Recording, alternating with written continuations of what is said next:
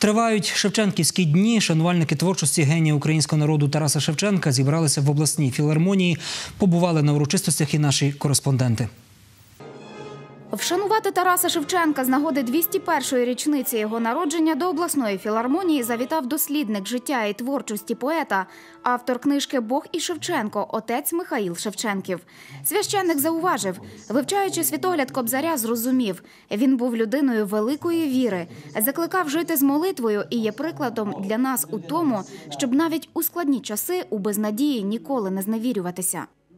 Я, будучи духовною особою, е, міг е, відкривати для себе, як Бог добрий до нашого народу, що покликав до життя таку справді велику людину, велику у вірі, у християнській вірі. І по-друге, що радію з того, що добре ім'я про Шевченка не згасає в серцях українського народу, бо бачу його як того, який не тільки великий поет, мислитель, філософ, але перш за все також пророк, бо його слово дуже живе і актуальне.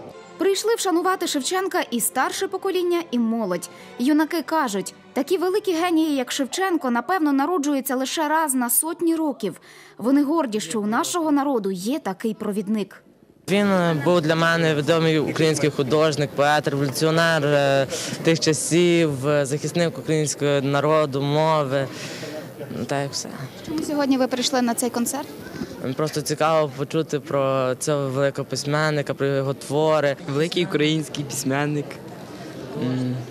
художник, поет. А особливо шанують великого кобзаря люди, які мають великий життєвий досвід, і розуміють, слова Шевченка для українців найкращий орієнтир.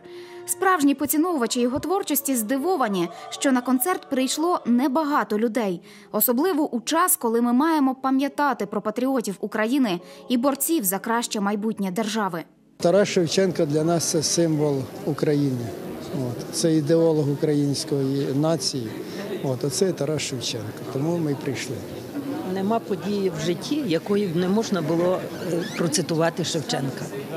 І відповісти на любе запитання, яке є. Відкриваєш кобзар і там все написано. І не прийти сьогодні, просто е, ну, е, навіть не знаю, як сказати.